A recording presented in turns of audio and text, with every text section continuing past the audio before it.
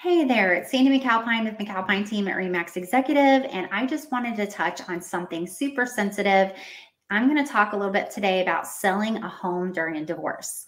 And although it's not ideal, I know that some people can't afford to keep the home that they want to when a divorce is involved and either party might separate or you know people have to move on and move out.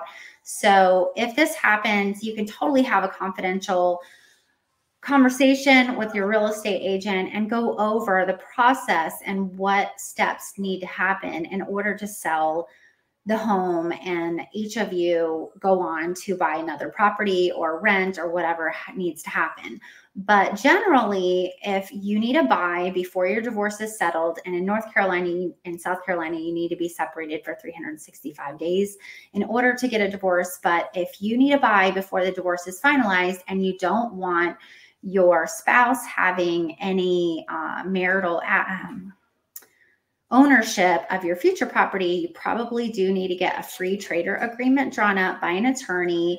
And you can call some attorneys and find out about how much that is. It's usually a few hundred dollars.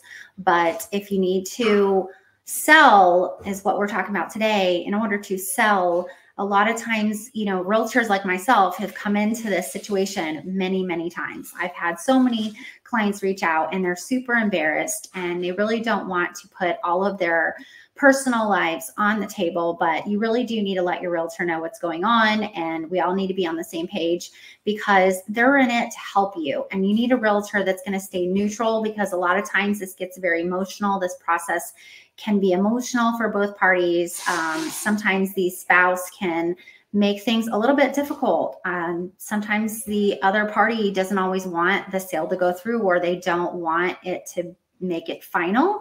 Um, or sometimes, you know, it just, the money is most important to one party more than the other, and it gets really, really sticky. So it's important to have the right agent that can navigate this process between both spouses um, and just to make sure that everything goes smoothly and to also anticipate any issues.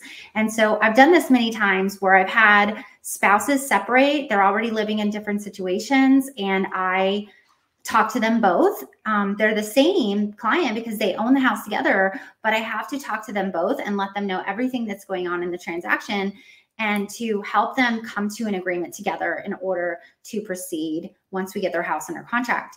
And when we get to the attorney's office, the attorney or the title company can generally disperse the funds based on the seller's wishes. Um, so, as long as you guys are in agreement, then the attorney can disperse the money or the proceeds if you're making money on your home um, and paying off the mortgage and getting that home out of both of your names. So if you have any more questions about this process, because it is really sensitive, it's a sensitive topic, um, and you want a confidential interview just to discuss how it would look, you can always reach out to myself or my team and we can come by and talk to you and, and go over the process.